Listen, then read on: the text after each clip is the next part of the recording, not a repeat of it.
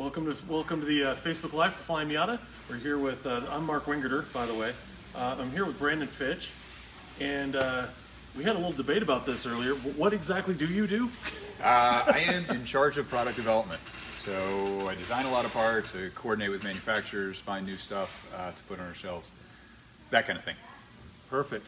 So we're going to introduce you guys to Brandon's car. This has been around the fleet for a long, long time. So how long have you actually owned this car, though? Before you were here? Oh yeah, yeah. Before I was here, uh, that's a good question. I'm gonna say 15 something. No, no, it's probably not quite 20. We'll go with 18 years. I'm going with 18. Go with 18 years. That's that's good enough. Um, I heard there was a bit of an adventure buying this car, and even how you got into this car in the first place. Yeah, so I ended up with this car because I totaled my first car. Um, be careful of uh, wet roads and metal expansion joints on bridges and or bad shocks. So I Or highly recommend our shock mounts. I'm not. yes, it was it was all of the above. I can. There are details with it, but whatever. Unfortunately, that car uh, did not No survive more. that particular encounter. So, um, so I looked for a new car, um, and basically I wanted an NA, um, and for whatever reason, people will argue with me, but I didn't want red. That was those are basically my requirements, and and it had to have a Torsen in it to start off with. So whatever. Nice. So I found this one on eBay, um, and it was really low miles for 96 because this was whatever my numbers made it out to be, 2001 or, or thereabouts. And it had Crazy. That's 18 years ago. yeah, I know it's terrifying, right? anyway, so it had about thirty thousand miles on. I was like, wow, that's really low mileage, but you know, it looks good. And I'm going through the pictures, and there's some detaily things. You know, it doesn't have a, a hood emblem on it now, or then. It does now. That's another story. And um, anyway, some detaily things that kind of keep me into the fact that it had been in some kind of accident, but there was nothing on the Carfax. Looked pretty clean. Blah blah blah. Bought it, mostly awesome. But then I kind of dug into it a little bit, and there's actually Bondo on the frame rails, Oh, trying to make it look like it was all structural on the inside there. So yeah. So for that reason, Wow.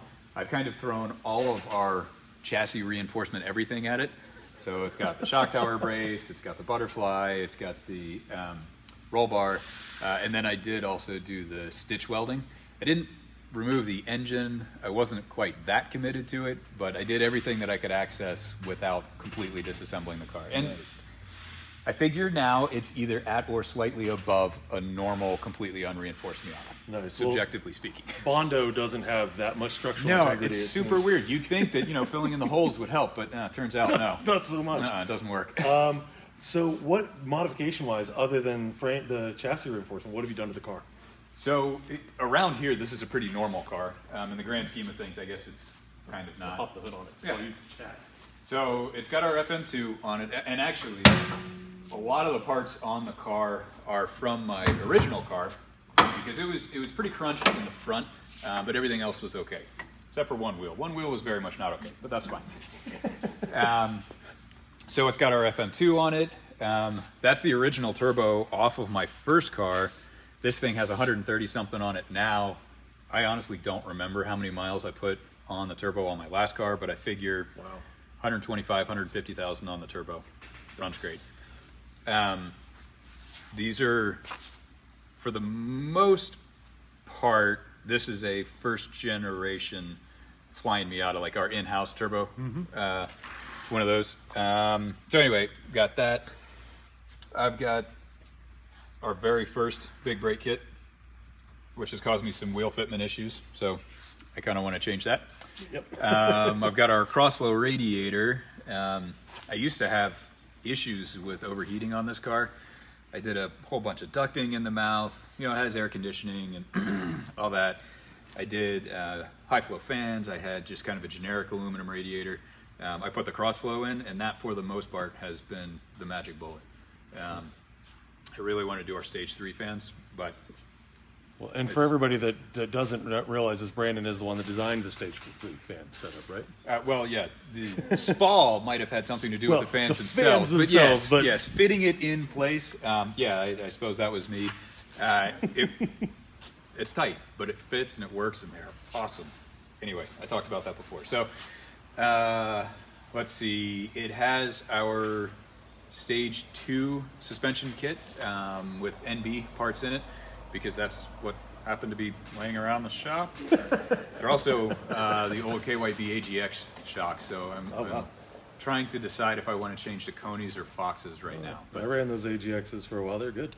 they're they're decent. They're all right. They're they're they either handle well. Very old school now, though. Yes, they're they're old school. They either handle well and ride okay, or ride pretty well and handle okay. But Yeah. getting the two of them together, that's kind of where Mine the new handled stuff is okay. much better.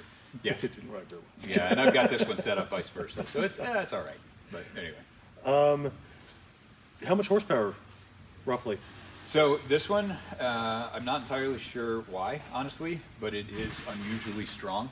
So about 12 psi. Um, it makes 250 at the wheels uncorrected. Um, Wow. Up here around 5,000 feet. So Healthy. and it's bone stock.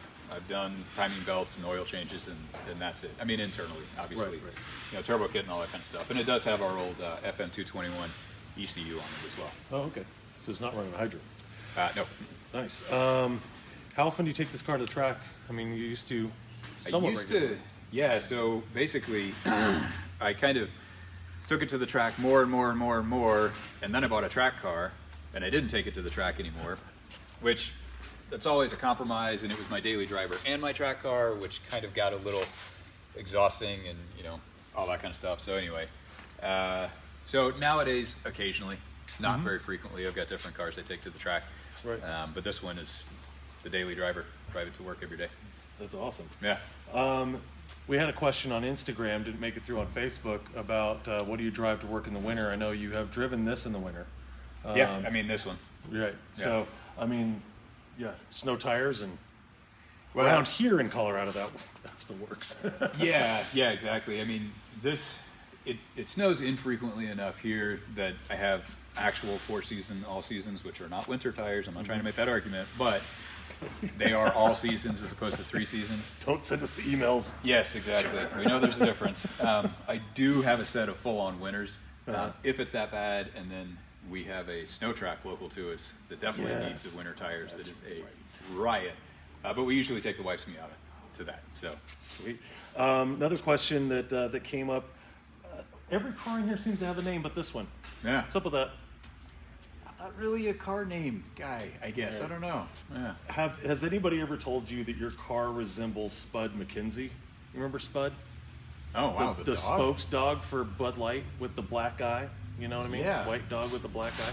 No, So- that hasn't come up. That I, But I can see the similarity. That's that's weird for me because that's the first thing I think of. So we're gonna name this car today. It's All not right. Spud.